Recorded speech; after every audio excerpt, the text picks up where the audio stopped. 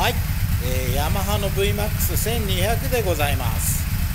えー年式は2000年、えー走行距離3万8539キロとなっております、えーちょうどですね、えインナーフォークガードがつく、え1年前のモデルでしょうか。はい、えーもちろん 2WE モデル逆車という形になりますので V ブースト付きでございます。はい、えーこちらの車両ですね外装があメッキのものに交換されております、えーなかなか他にない、えー外装ということなのでね目立つんじゃないでしょうか。ただちょっとタンクの上の錆が気にはなりますよね。はいそしてこちらの車両ですね。え角度調整機能付きのガイラシールドがついております、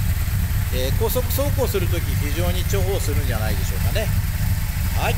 えーフロントのライト周りがスフィアの LED に変えられておりますね。ヘッドライトそれからウインカーも変わっております、えこちらは流れるウインカーでございますね。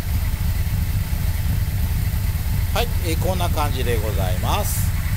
はいエンジンでございますね。え DOHC、え V 型4気筒 1198cc のものとなります。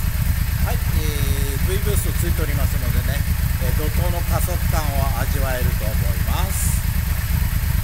はい、えー特に気になる音は出ておりませんね。エンジンガード、それからあると重宝するニーグリッププレートもついておりますね。えーマフラーはノーマルでございます。えーリアサスもノーマルですね。はい、えーテールライトこれ LED バルブになっておりますねウインカーなんですけれどもアクティブのサイドナンバータイプのものがついております、えーリア周りバックをつけるときにえ非常に便利だと思いますね。はい、えーあとシートがですねこちらあカスタムシート低反発スポンジのものがついております、えー長距離走行をですね、えーするときお尻が痛くならずに、えーいいんじゃないでしょうか。えークラッチ周りでございます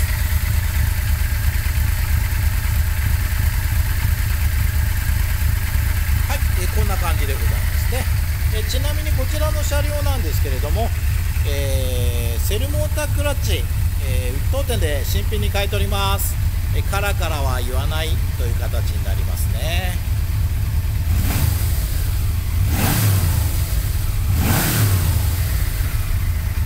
はい、えグリップヒーター ETC もついております、えーやはり VMAX といえばこの車両じゃないでしょうか、えー、だに人気が高い車両ですね、えー V ブーストの加速感というのはね、決して速いわけではないです。現行のモデルに比べるとですね、